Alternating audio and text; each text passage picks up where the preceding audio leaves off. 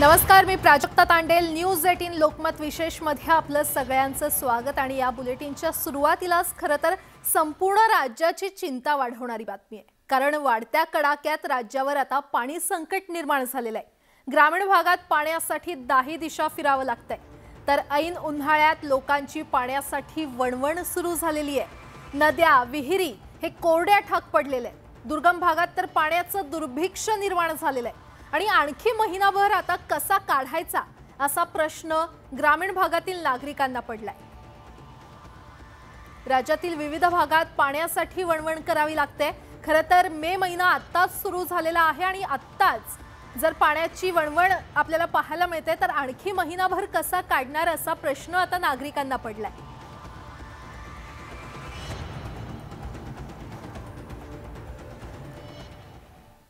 नाशिकच्या ग्रामीण भागात पाणी टंचाईमुळे नागरिक त्रस्त झाले. पाण्यासाठी दररोज तीन किलोमीटर पायपीट करावी लागते. रोहिले गावातील पाणी टंचाईमुळे या गावात सोयरीक काढण्यासाठी कुणी तयार होत नाहीये. तर तिकडे औरंगाबादमध्ये देखील पालिकेकडून समान पाणी वाटपाचं आश्वासन दिल्यानंतर आंदोलन स्थगित करण्यात आलं. भाजप आणि मनसेनं समान पाणी पुरवठ्याच्या मागणीसाठी दोन दिवसांपासून आंदोलन सुरू केलं होतं. नागपूरमध्ये देखील काँग्रेस कार्यकर्त्यांनी पाण्याच्या टाकीवर चढून आंदोलन केलं. पालिका अधिकारी पाण्याच्या प्रश्नाकडे दुर्लक्ष करत असल्याचा आरोप या कार्यकर्त्यांनी केला.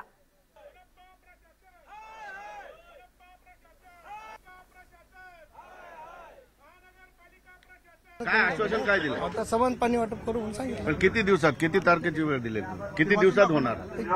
तीन चार दिवसामध्ये आता या सगळ्या गोष्टी करतील या ज्या एक्सप्रेस लाईनवर त्यांनी बरेच ठिकाणी ऍडिशनल कनेक्शन दिले ते इलिगल कनेक्शन आहेत. टँकर लॉबी सगळीकडे टँकर पाणी जाते त्याच्यावर पण कंट्रोल करा. आम्ही ज्यावेळेस ऐकता बरं पण त्याचा अजूनही त्यांनी कुठलाही त्याच्यात खुलासा आता विश्वास वाटतो होईल? आम्ही आज त्यांनी लेखी दिलेलं आहे आम्ही त्यांना वेळ दिलेली आहे. तर ते नाही केलं तर हे आंदोलन तीव्र होईल. खरं तर आज घराघरात कौटुंबिक कलह निर्माण झालेला आहे. फॅमिली व्हायलन्स इतकं वाढलेलं आहे. लोक शहर सोडून चाललेले आहे. आणि त्यामुळं या अधिकारी बोलणार नाही तुमच्याशी कारण यांचे वॉल वरती आहे. यांचे वॉल ज्याच्या हातात आहे त्याचा वॉल मोकळा केल्याशिवाय हे बोलणार नाही. यांचे तोंड बंद आहे. कारण हे सगळे चोर आहेत. पंधरा दिवसात तुमचा पाण्याचा प्रश्न सॉल्व्ह करू. नाही केला आज त्यांनी लेखी स्वरूपात दिलंय.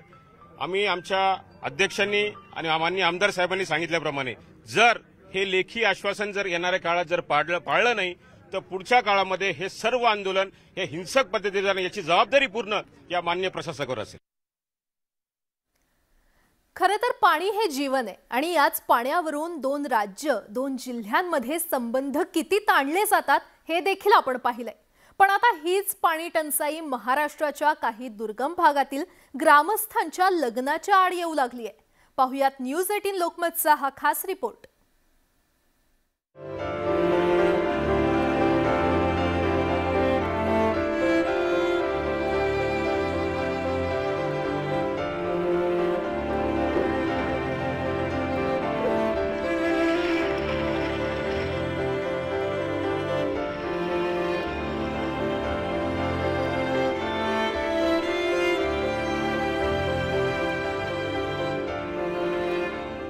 कच्चा रस्ता तळपणारा सूर्य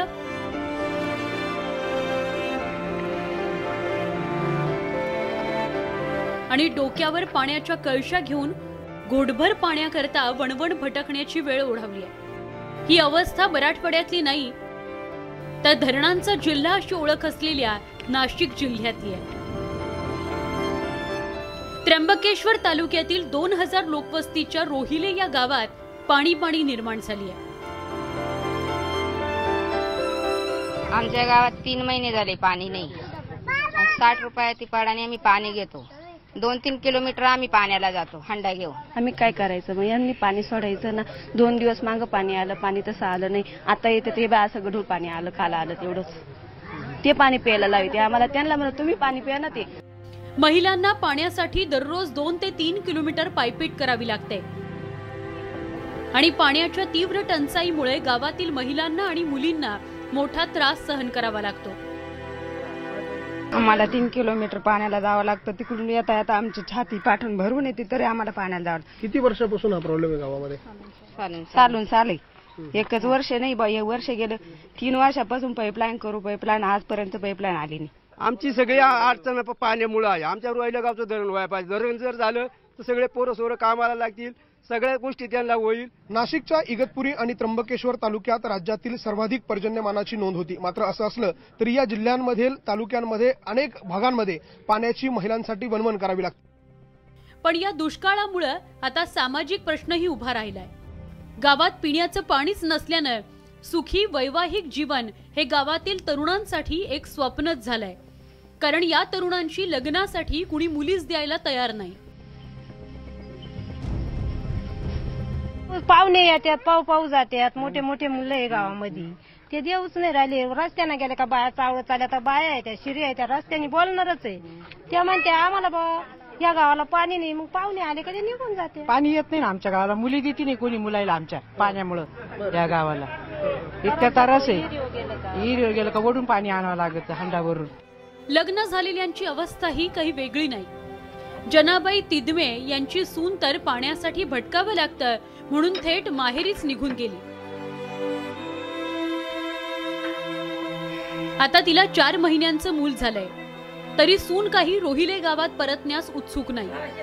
त्याचं कारण म्हणजे भीषण दुष्काळामुळे असलेली पाणी टंचाई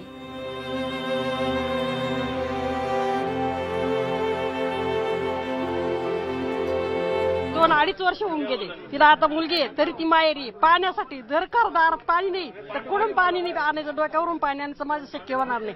शक्य ती येतच नाही. पाणी नाही आजही ते चार महिन्याची मुलगी झालेली तिची. तरी पाण्या तरी ती माहेरून येत नाही. या रोहिले गावातील तरुणांनी देखील पाणी नसल्यामुळं येणारे पाहुणे बाहेरच्या बाहेरच निघून जात असल्याचं सांगितलं. गावातील काही तरुण तर पस्तीशीच्या घरात पोचलेत. मात्र त्यांच्या लग्नाच्या स्वप्नांवर पाणी पडलंय. सर्वांना पाण्यासाठी वनवन अं, भागावं लागत. आई असो किंवा बहीण असो त्यांना बऱ्याच ठिकाणी असं अडचणच्या ठिकाणी जाऊन पाणी आणायला जावं लागतं. बरेच आता मी माझं रनिंग आहे समजा थर्टीच्या पुढे आहे तर पाण्यामुळे आमच्या गावाकडे पुरी देण्याला देण्यासाठी सुद्धा लोक आहे ना असं हे करता की इकडे जर मुलगी दिली तर तिचं भवितव्य काय? काय अडचणी आजी?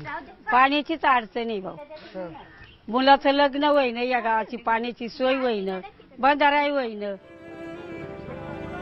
उतरत्या वयात पाण्यासाठी मैलोनमैल करावी लागणारी भटकंती आणि मुलाच्या न होणाऱ्या लग्नामुळं घरच्यांचा जीव तर टांगणीलाच लागलाय. लग्नाचं स्थळ केवळ पाणी नाही हे ऐकूनच नकार देत असल्याचं सांगताना त्या मातेच्या डोळ्यातील अश्रू काही थांबेनात. मला तर बोलावं असंच वाटत नाही. कंटाळलेले आहे या जीवनाला इथं खूप. आम्ही जेवढं वैतागलो या कामाला याला सर्व. तिकडून पुढचं कसं काय मुला बाळांचं भविष्य? किती लांबून पाणी आणायला लागतं? भरपूर एक दीड किलोमीटर अंतरावरून. आता सकाळपासून तर आतापर्यंत चार पाच कॅपा पाणीच आणायचे. या वयात एवढं होत नाही आता. दहा पंधरा वर्षापासून पाऊस पाणीच नाही ना. प्यायला पाणी नाही इकडं सगळं लांबून लांबून आणि त्याच्यामुळे मुलगी कोणी देते नाही काही नाही. आमचंच कस तरी जगणं चालेल वरच्याच पाण्यावरून. पाणीच नाही ना एवढं कुठंच नाही. जवळून आणाय पाणी नाही ना. गावात नळ योजना आहे पण पाणीच नसल्यानं धरणांनी वेढलेल्या या गावावर दुष्काळाची स्थिती ओढावली आहे. जे पाणी पिण्यायोग्य नाही ते पाणी आंघोळीसाठी आणि कपडे धुण्यासाठी वापरण्याची वेळ ग्रामस्थांवर ओढावली आहे. तर काहींपुढे हेच घाणेरडं पाणी पिण्याशिवाय पर्याय उरलेला नाहीये. दररोज पाय पाय येतो. आम्ही दररोज ऊन झालं कळ कळ का यावं लागत आहे जावं लागत आहे पाणी व्हावं लागत आहे पाणी नसलं ती कोणती पाईपलाईन आली तरी पाणी भेटत नाही. काही नाही धुवाला लांब जावं लागत दोन तीन किलोमीटर व पाणीच नाही भेटत काय करायचं? ताई तुम्हाला काय अडचण येते रोज? आम्हाला ती पाण्याचीच अडचण येते. दोन किलोमीटर लांब यायला लागत दुडीवर पाणी व्हायला लागत दहा बारा छापा. ही परिस्थिती एकट्या रोहिले गावाची नसून माळेगाव पिंपरी राजेवाडी अशा असंख्य गावांमध्ये पाण्याचं दुर्भिक्षच आहे. रोहिले गावाला लागून असलेल्या माळेगावात तर अख्खा गावच पिण्याचं पाणी आणण्यासाठी भर उन्हात बाहेर पडल्याचं दृश्य नजरेस पडलं. या तांड्यामध्ये केवळ महिलाच नव्हे तर आजी आणि नाती सुद्धा डोक्यावर हंडे घेऊन निघाल्या होत्या. आता तीन चार वर्षापासून पाणीच येत नाही गावात? नाही नाही. नळाला पाणी येत नाही? येत आहे पाणी थोडं येत आहे बाबा काय नाव आहे? अनुष्का. बरं तू कधीपासून इथे येते विहिरीवरती? तीन दिवसापासून. बरं बरं पाणी नाही का तुझ्या गावात? नाही. अं, आणि मग तू हा एक हंडा घेऊन कुठं जाणार आता? घरी. घरी. किती किती अं, किती किलोमीटर तुला यावं लागतं असं एवढं लांब? तीन. तीन किलोमीटर. बरं बरं. शाळेत जाते का तू? कितवीला आहे? पहिली. गावात लाखो रुपये खर्चून पिण्याच्या पाण्याची योजना राबवण्यात आली. मात्र तरीही पाणी काही मिळालं नाही. वसंतरावला सांगितलं गंगापूर याची वाघेरेच्या धरणाची पाईपलाईन घेतली. तिकडं सांगितलं पाणी चालू करा. मग काय मोटर जळाली. काय पाणीच नाही काय पाईपलाईन फुटली. मग हे काम कोणाचं? आहे? ग्रामपंचायतीचं आहे. हे काम ग्रामपंचायतीचं मग ग्रामपंचायतीवाले नीट करायला पाहिजे ना. हा? तुम्ही आमच्याकडून बिलांचा पैसे घेत्या घरपट्ट्या घेत्या नळपट्ट्या घेत्या पाणपट्ट्या घेत्या हे कशाचं घेत्या तुम्ही? नाशिक जिल्ह्यात पंचवीसहून अधिक छोटी मोठी धरणं आहेत. राज्यातील सर्वाधिक पर्जन्यमान नाशिकच्या याच त्र्यंबकेश्वर तालुक्यात नोंदलं जातं. मात्र तरीही पाण्याचं योग्य नियोजन नसल्यानं या गावांमध्ये स्वातंत्र्यापासून हा भीषण दुष्काळ कायमचाच. सरकारी अधिकारी लोकप्रतिनिधी कागदावर अनेक योजना राबवतात. मात्र या योजना खरोखरीच दुष्काळाशी झुंजणाऱ्या लोकांपर्यंत पोहोचतात का याचा विचार व्हायला हवा. शहरांच्या तुलनेत गावात सुरू असलेली जीवघेणी कसरत आणि बिघडत चाललेला सामाजिक स्तर सुधारण्यासाठी वेळीच योग्य ती उपाययोजना करणं गरजेचं आहे. अनेक किलोमीटरचा हा प्रवास करून ह्या महिला ज्या आहे त्या अशा प्रकारे विहिरीवर येतात आणि पायी पाणी घेण्यासाठी इतक्या लांब येतात. खरं तर ही वास्तविकता आणि ही दहाकता प्रशासनातल्या ढिम्म अधिकाऱ्यांना कधी समजेल आणि राजकीय लोकप्रतिनिधी जे केवळ मतदानासाठी या गावांमध्ये येतात ते या लोकांचे प्रश्न कधी सोडवतील असाही प्रश्न या निमित्ताने उपस्थित होतोय. व्हिडिओ जर्नलिस्ट हेमंत बागुलसह लक्ष्मण घाटोळ न्यूज एटीन लोकमत नाशिक.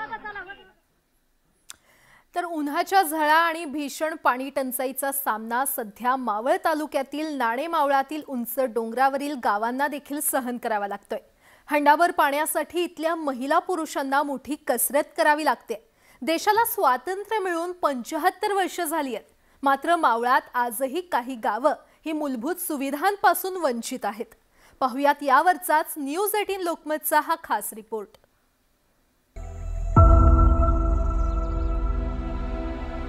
नाणे मावळ आणि आंदर मावळातील डोंगर पठारावर राहणाऱ्या जवळपास साडेतीनशे आदिवासी धनगर बांधवांना सध्या पाण्यासाठी वणवण फिरावं लागतंय.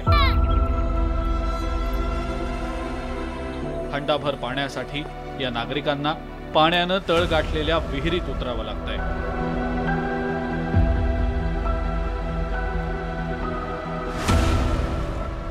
पाण्यासाठी कोणतीही उपाययोजना नसल्यामुळं नागरिकांना पिण्याच्या पाण्यासाठी रोजच्या मरण यातना सहन कराव्या लागतायत. जशा उन्हाच्या झळा वाढू लागतात तशा इथल्या नागरिकांच्या पाण्याच्या बाबतीतल्या अडचणींनाही सुरुवात होते. या भागात असणाऱ्या विहिरीनं तर अक्षरशः तळ गाठलाय. मावळ तालुक्यातील उकसान पठारावर सध्या आपण आलेलो आहे. या उकसान पठारातील जे नागरिकांची जी पाण्यासाठी वणवण झालेली आहे आपण पाहू शकता कशा पद्धतीने ह्या महिला संपूर्ण या विहिरीमध्ये उतरलेल्या आहेत. जर पाहायला गेलं तर ह्या विहिरीने अगदी तळ गाठलेलं आहे. अजून मे महिना जायचा आहे तरी उन्हाच्या झाडा या उकसान पठारातील नागरिकांना प- बसलेले आहेत. इलेक्शनच्या वेळेला दहा वेळा येणार आणि पायावर डोकं ठेवणार तुमचे नळ योजना देणार तुम्हाला काय असेल त्या सवलती देणार तुम्हाला रस्ता देणार तुम्हाला पाणी देणार. एकदा शिक्का मारून झाले का मग येतो करतो बघतो असं म्हणतात. एवढी धरणं आहेत माऊळ तालुक्यात. त्यांचा आम्हाला काहीच उपयोग नाही. त्यांनी आम्हाला नळ द्यावं बनवून आम्हाला काय त्याचा उपयोग आहे? तेव्हा एवढी दुनियाचा सांगतात आम्हाला हाय आमकं आहे धमकं करतो आम्ही. कोणच करत नाही. आज ह्या नाणे मावळ आंधर मावळाच्या सीमावर्ती भागात असलेला हा पठार ह्यामध्ये पलीकडच्या साईडून धरण आहे आंध्र धरण आहे ठोकळवाडी धरण आहे हे साईडून वडिवळे धरण आहे. पण आज महाराष्ट्रामध्ये पूर्ण जलजीवन मिशनची मोठी कामं चालू आहेत. पण आज सुद्धा आमच्या पठाराचा कुणीही कोणत्याही प्रशासनाने विचार केलेला नाही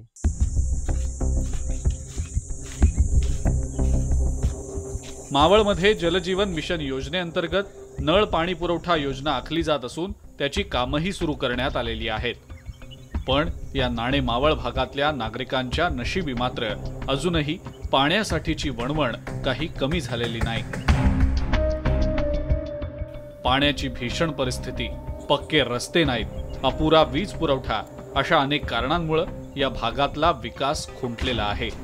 नागरिकांना सोयी सुविधाच मिळत नसल्यानं अनेक सामाजिक प्रश्नही निर्माण झालेत. आम्ही प्रशासनाला मागणी करतो आता जल मिशन योजना अंतर्गत सर्व मावळमध्ये नळ योजना चालू झाली पण आमच्याकडे प्रशासन काही लक्षच देत नाही. ते रस्त्यावर गा गाडी नाही कारण की एकट्या मुलीला खाली जाता येत नाही. तिथून खूप मो- अंतर खाली जायला लागतं. तिथं खाली गेल्यावरच आम्हाला गाडी एस टी असते.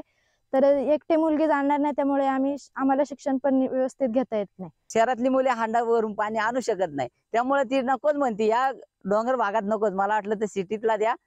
अडाणी द्या पण सिटीतला द्या. पण आम्ही शिकून आमचा फायदाच नाही ना.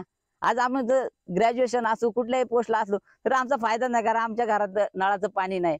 आमची आई अडाणी ती अडाणी आई नको सेपरेट राहिलं. तर आज आम आमचं कुटुंब एकत्र आहे. एकत्र आई वडिलांना सोडून कसं काय राहणार? आम्हाला आहे ना पाण्यासाठी खूप वन वन फिरायला लागतं. आमच्यासाठी पाणी नाही कुठली सोय नाही आम्हाला शासकीय किंवा ह्याची कुठलीच नाही. पाण्याची खूप अवघड परिस्थिती आहे. पंधरा वर्षापूर्वी एक विहीर खोदलेली ती पण रानातल्या पशुपक्ष्यांसाठी खोदले तर आता आम्हाला प्यायला पाणी नसल्यामुळं आम्ही त्याच विहिरीतलं पाणी पण आम्ही पण पितो तोच आणि जनावरं पण तेच पाणी पितात. मावळ तालुक्यात खरं तर मोठ्या प्रमाणात पाऊस पडत असतो. परंतु प्रशासनाच्या दुर्लक्षामुळं पाणी प्रश्न अजूनही कायम आहे. पाणी टंचाईबाबत ग्रामपंचायत प्रशासनाला तक्रार करून सुद्धा याकडे दुर्लक्ष केलं जात असल्यानं या पठारावरील नागरिक आता हतबल झालेत. लवकरात लवकर या नागरिकांना नळ पाणी योजना सुरू करण्याची मागणी आता जोर धरू लागली आहे Ganesh Dudam news eighteen Lokmat Maval. Break नंतर आपलं पुन्हा एकदा स्वागत. तिकडे सोलापुरात देखील पाणी प्रश्न गंभीर होत चाललाय. महापालिकेच्या ढिसाळ कारभारामुळे इथल्या नागरिकांचे हाल होत आहेत शहरातील उपनगरांमध्ये मुबलक पाणी असताना देखील नियोजनाअभावी पाण्याचा प्रश्न गंभीर होताना दिसतोय. इथल्या अनेक भागात आठ दिवसानंतर टँकरद्वारे पाणी मिळते एकीकडे उजनी जलाशयात मुबलक पाणीसाठा उपलब्ध असून देखील केवळ महापालिका प्रशासनाच्या पाणी पुरवठा विभागाच्या नियोजनाच्या अभावामुळे ही पाणी टंचाई निर्माण झाली आहे यामुळे नागरिकांनी आता संताप व्यक्त केलाय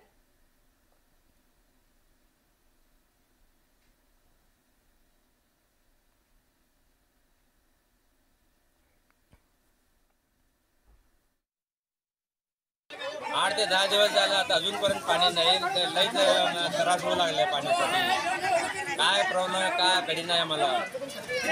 लई त्रास व्हायला आम्हाला. काहीतरी करून व्यवस्था करावा करावं आमची. पर्यावरण मंत्री आदित्य ठाकरे यांनी पालघरच्या बिवलवाडी येथील ग्रामस्थांशी जमिनीवर खाली बसून चर्चा केली. त्याचा वर्षानुवर्ष त्यांचा पाणी प्रश्न मिटेल अशी ग्वाही त्यांनी दिली. बिवलवाडी येथील महिलांनी त्यांना पाणी टंचाईचं गांभीर्य सांगितल्यानंतर सौर ऊर्जेच्या माध्यमातून तातडीनं पाणी पुरवठा करण्याबाबत त्यांनी आश्वस्त केलं. आपली परिस्थिती पाहायला मी आलो आहे. घरापर्यंत पाणी येईल अशी यंत्रणा बसवण्यात येते. कामाच्या पाहणीचा आढावा घ्यायला महिन्याभरात परत येईन असं देखील आदित्य ठाकरेंनी नागरिकांना आश्वासन दिलं. आपल्यासोबत पर्यावरण मंत्री आदित्य ठाकरेजी आहेत. तुम्ही दौरा करताय काही सुखद अनुभव येत आहेत काही दुःखद अनुभव सुद्धा येत आहेत कशा पद्धतीचा हा पाणी दौरा आता सुरू आहे? सुखद आणि दुःखद दोन्ही धक्के इथे बसत आहेत. कारण एक म्हणजे एक चांगली गोष्ट आहे की आपण कुठेतरी मीडियाच्या ह्याच्यातून बघून हा पूल करू शकलो. पण त्याच्या आधी जे ओंडक्यांवरनं महिला ज्या क्रॉस करायच्या ते फोटो बघितल्यानंतर पंच्याहत्तर वर्षानंतर आपल्या गावांमध्ये अशी परिस्थिती असू शकते. मला आठवतं दहा वर्षापूर्वी आम्ही डोलारा असेल किनेस्तेसेल वगैरे ह्या गावांमध्ये पाणीसाठी आम्ही टाके लावले त्या देखील अजून कार्यरत आहेत. पण आता घरापर्यंत नळातून पाणी कसं जाईल? ह्याच्यावर आम्ही एमजीपीतून पूर्णपणे जी काही नळपाणी योजना ती इथे आणण्याचा प्रयत्न करत आहोत. एकच महत्वाचं की यांचे आवाज जे आपल्यापर्यंत पोहोचत नाही ते आपल्या माध्यमातून पोहोचतात. आणि त्याच्यासाठी मी आपले सर्वांचे आभार मानतो. खरं तर आदित्यजी या लोकांनी खंत व्यक्त केली. जवळ डॅम आहे डोळ्यासमोर पाणी दिसतंय मात्र घरात हे पाणी येत नाहीये. त्या बाबतीत आता कशा पद्धतीनं प्रयत्न करणार आहात तुम्ही? वचन सुद्धा या ठिकाणी दिलेलं आहे. नक्कीच त्या डॅम आपण जी पंचवीस वर्ष शिवसेनेची सत्ता महापालिकेत होती महापालिकेसाठी आणि मुंबईच्यासाठी आपण ते केलेले. आता राज्यात सरकार असताना शिवसेना काँग्रेस राष्ट्रवादी काँग्रेस सर्व मित्रपक्ष मिळून आम्ही प्रत्येक गावांमध्ये महाराष्ट्राच्या प्रत्येक जिल्ह्यामध्ये अशी जे काही विषय असतील ते सोडवण्याचा प्रयत्न करत आहोत. पुरेपूर प्रयत्न जो काही मेहनत घ्यायला लागते ती करत आहोत.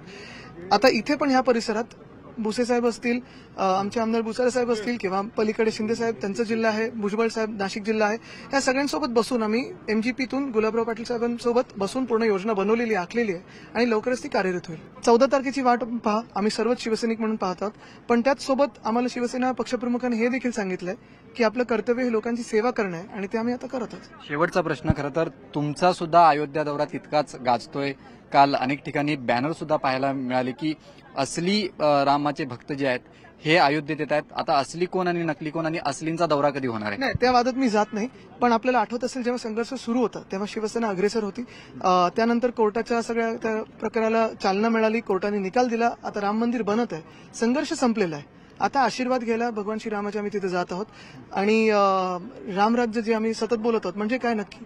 तर प्रत्येकाची सेवा करणं प्रत्येक मानव माणसाची सेवा करणं महिला असेल पुरुष असेल कुठचाही धर्म असेल जातपात न बघता त्यांची सेवा करणं आणि जे आमचं कर्तव्य आहे जी काही वचनं दिलेत राज्याला ती पूर्ण करणं ह्याच्यासाठीच जरी संघर्ष संपला तरी श्रेयवादाची लढाई अजूनही चालू आम्ही त्याच्यात कधी जाणार नाही. श्रेयवादाच्यात कधी जात नाही आम्ही. नक्कीच पर्यावरण मंत्री आदित्य ठाकरे होते त्यांनी आज पालघर आणि ठाणे जिल्ह्याचा दौरा केलाय. मात्र याच्यामध्ये राम मंदिराच्या बाबतीत आम्ही कुठेही श्रेयाची लढाई केली नाही असं सुद्धा त्यांनी म्हटलंय. व्हिडिओ जर्नलिस्ट प्रशांत मोहितेसह विशाल पाटील न्यूज एटीन लोकमत मुंबई.